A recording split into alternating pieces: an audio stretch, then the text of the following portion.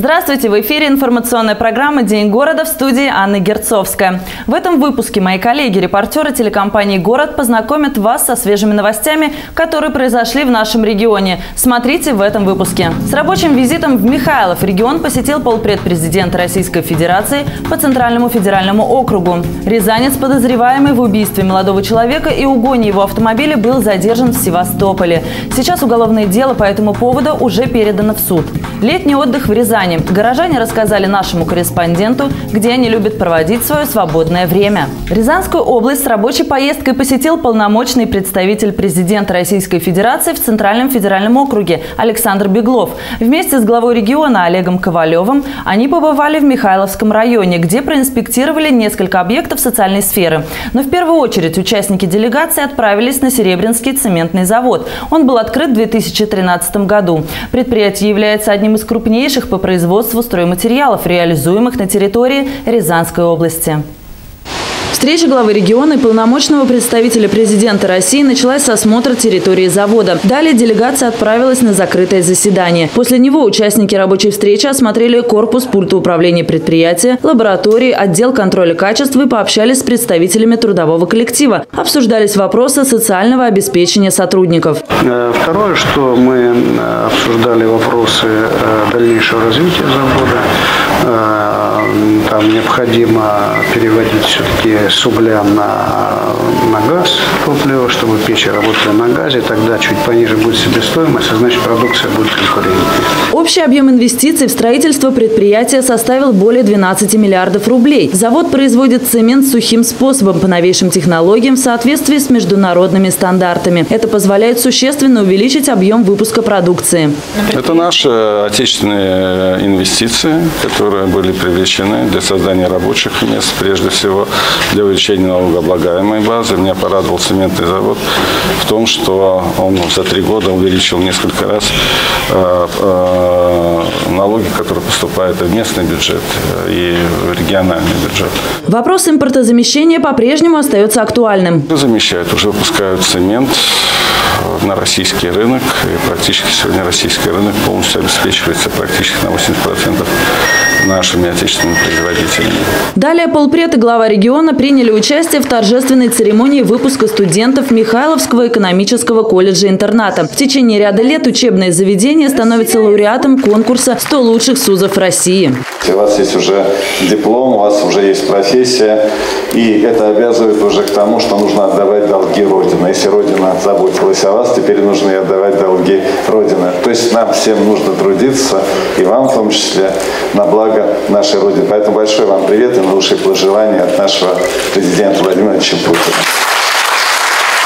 Представители делегации также побывали в детском саду «Василек». Он был построен в 2014 году, рассчитан на 250 мест. Действует 14 групп общеразвивающей направленности для воспитанников от полутора до семи лет. Далее полпред и глава региона вместе с ветеранами приняли участие в возложении цветов к комплексу, посвященному героям Великой Отечественной войны.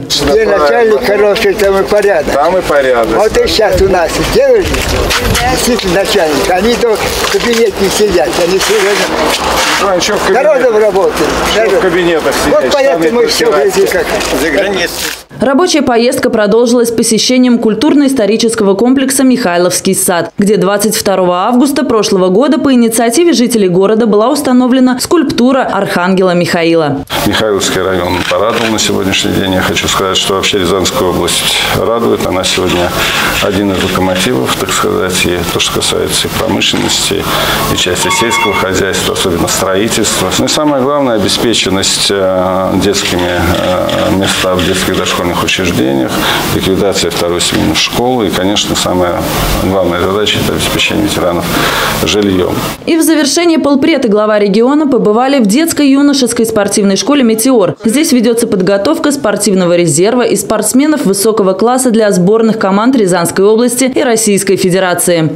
Губернатор Олег Ковалев предложил министру транспорта и автомобильных дорог региона Евгению Межорину покинуть пост. 28 июня Ковалев провел совещание, где были представлены результаты проверки качества и сроков проведения дорожных работ в регионе. На совещании были представлены результаты проверки, проведенной по поручению губернатора Рязанской области межведомственной рабочей группы по контролю за состоянием автодорог, состоящей из специалистов Министерства региональной безопасности и контроля и Министерства транспорта и автомобильных дорог области. Глава Минрегбезопасности Глузунов доложил о выявленных нарушениях. Губернатор выразил недовольство работой областного Минтранса из-за ослабления контроля за исполнением подрядными организациями условий госконтрактов, нарушения ими технологических требований и последовательности работ, а также низких темпов ямочного ремонта. Глава региона предложил министру транспорта и автомобильных дорог области Межорину написать заявление об увольнении. В противном случае он будет уволен по недоверию.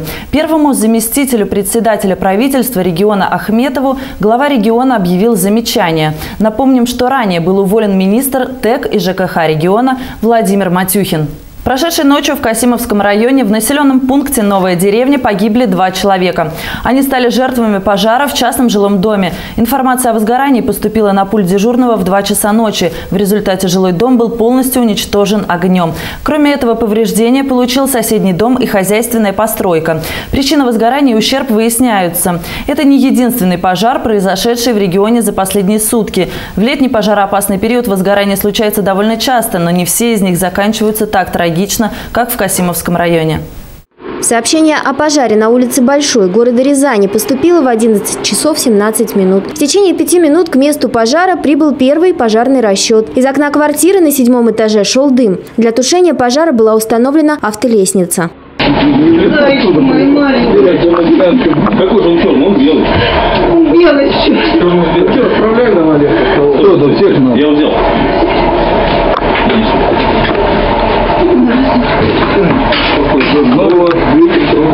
Не прошло и получаса, как пожар был локализован, а еще через несколько минут ликвидирован. Во время тушения пожарные эвакуировали 6 человек из соседних квартир. В результате возгорания повреждена комната и имущество на площади около 16 квадратных метров. Пострадавших нет, причина пожара устанавливается. 58, 199, ликвидация пожара. Московским межрайонным следственным отделом города Рязани было завершено расследование уголовного дела в отношении 32-летнего местного жителя. Он обвиняется в убийстве молодого человека и угоне его автомобиля. Это преступление было совершено в декабре прошлого года, но только недавно, в апреле этого года, подозреваемого в совершении преступления удалось задержать в городе Севастополь. Погибший Юрий Никифоров планировал продать свой автомобиль «Опель Астра». Вот и поехал на встречу с потенциальным покупателем. Молодые люди встретились в поселке Борки. В ходе разговора между мужчинами возникла ссора. В результате обвиняемый избил продавца и нанес ему один удар ножом в область груди. От полученной колото-резанной раны молодой человек упал на землю. Обвиняемый переместил потерпевшего в рядом находящийся овраг и скрылся с места преступления на его автомашине. Произошедшее на парковке заметили очевидцы, которые испугнули преступника. Они же и вызвали на место скорую помощь, но медики спасти жизнь Юры не успели.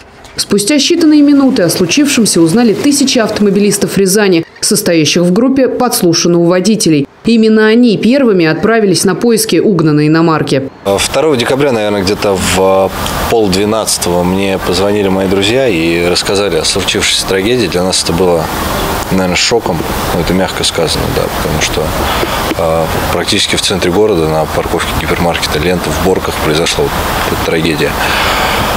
Ну и, наверное, мы безоговорочно решили действовать. Э, написали сразу в социальные сети о случившемся. Э, и уже в 12 часов э, с ребятами мы собрались на, как раз на том месте, на парковке ленты. Там было порядка, наверное, 200-300 машин. Мы распределили людей по районам города и разъехались искать этот черный «Опель». Угнанный автомобиль в тот же день был обнаружен во дворе одного из домов на улице Интернациональной. Родные и друзья Юрия Никифорова, погибшего от рук человека, поставившего автомобиль выше человеческой жизни, до сих пор не могут оправиться от потери. Обычный, обычный парень, э, который любил машины, который любил жить, в принципе, очень жизнерадостный. И за, наверное, за все время нашего с ним общения я вот о человеке об этом не слышал. Ни одного негативного отзыва, в принципе. Потому что всегда все о Юрии отзывались очень хорошо. Подозреваемый, между тем, долго скрывался, в том числе и в монастыре. Но в апреле этого года был задержан в Севастополе. В настоящее время уголовное дело передано в суд. Период отпусков в самом разгаре. И для тех рязанцев, которые еще не успели уехать отдыхать на море, в деревню, или же для тех, кто вынужден проводить время в городе в связи с работой, тоже находится разнообразный досуг. В Рязани работают пляжи, городские парки, интерактивные площадки. Сегодня мы узнали у самих горожан, как и где они предпочитают проводить свое свободное время летом. На даче. А вообще хватает вам вот мест для отдыха в Рязани? Мест, дачи. А в городе?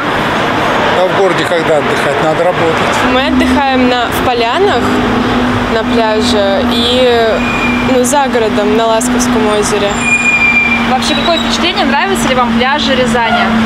А, пляжи Рязани, в общем, нет, но я считаю, что в Полянах очень хороший пляж сделали, а, потому что, ну, он как бы за городом, я не могу сказать, что он рязанский. В Рязани? На Орешке можно на Орешке Или, допустим, с Наторий Старец, там озеро, еще такое.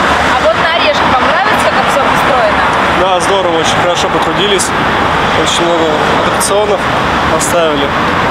Ну, воду почистили. Очень здорово. В целом довольны отдыхом, да? да? В Рязани можно летом отдохнуть? Да, Конечно, вполне. можно. В Рязани я, к сожалению, отдыхаю в Рязани. А вы где? В парках, может быть, или а, В парках гуляем по городу много. В принципе, все. Хватает вам мест для отдыха? Надо больше парков, как в Москве. В Москве вот все отлично, в Рязани большая беда. А на Московском я там живу. Там у нас парк хороший, фонтанчик где наш. Мне очень нравится наш город, как бы у нас такие зеленые парки в, центре города, в принципе, можно прогуляться также.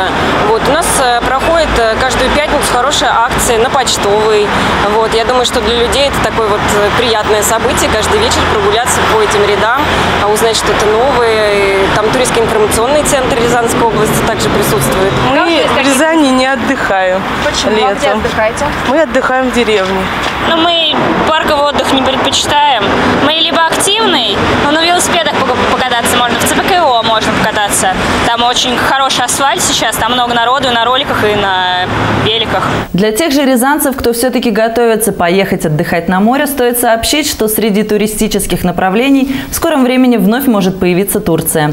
Президент России Владимир Путин заявил, что административные ограничения на поездки россиян в Турцию нужно снять. Он поручил правительству России вступить в переговоры с соответствующими турецкими ведомствами для того, чтобы восстановить взаимовыгодное двухстороннее сотрудничество в торгово-экономической и других сферах.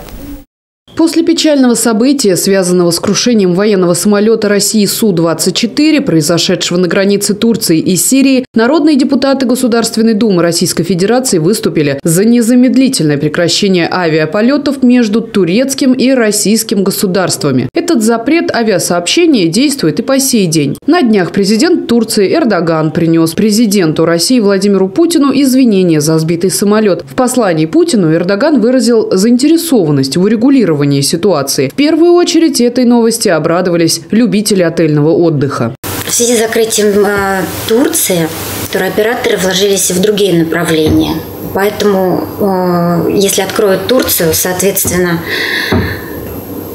российские туристы захотят вернуться на популярные турецкие курорты. И операторы опять понесут потери, так как деньги вложены э, в другие направления. До запрета на Турцию приходилось примерно 30% выездного потока, около 2,5 миллионов человек в год. Если запрет на продажу путевок для туроператоров будет снят, поток может быть сформирован в течение ближайших месяцев. Из-за снижения покупательской способности россияне стали все чаще планировать поездки за короткое время до отпуска.